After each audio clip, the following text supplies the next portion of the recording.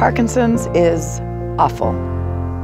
Parkinson's is scary, gradual, exhausting. Parkinson's is like a wall that closes in on someone. Parkinson's has a great Parkinson's Institute, so that's the one good thing I can say about it. Our Parkinson's Institute feels so so much really truly ours as if they're working only for our family and my mother that um, we are eternally grateful.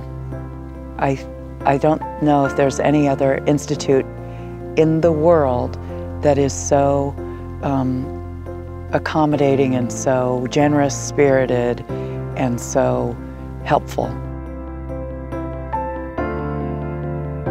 I'm Polly Draper. I'm married with two kids, daughter to my um, mother who has Parkinson's. She found out uh, when she was about 50, and she called all of us and told us. She was having a strange thing where her arm just kept going up with no reason. I think that she and my dad tried to soft pedal it as much as possible for us. She didn't want anyone to know she had it, so it was just our family that knew. The first thing that I noticed was my mom has really sparkly eyes, and um, and her eyes stopped being sparkly. She, they stopped having kind of a twinkle in her eyes, like she stopped being able to have the expressions that she did. She was also one of those people that's um, had a really expressive face and a big smile. And she said to me, once she started freezing up, that she made a decision she could either freeze up in a, a, a dead mask or she could freeze up in a smile. Everyone knows her as the woman that just has this smile on her face all the time.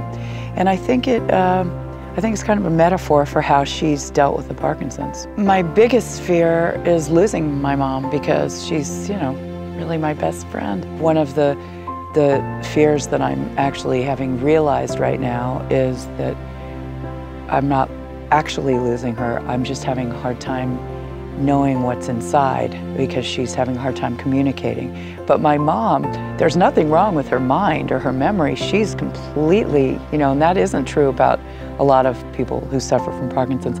She is like there, like a whip. She remembers everything. She's the one who tells my dad, no, it's not right. We have a appointment then, or no, that memory that you have is wrong, and you know. And uh, so the fact that she is unable to communicate her thoughts at this point is a really tough one for all of us. And, you know, so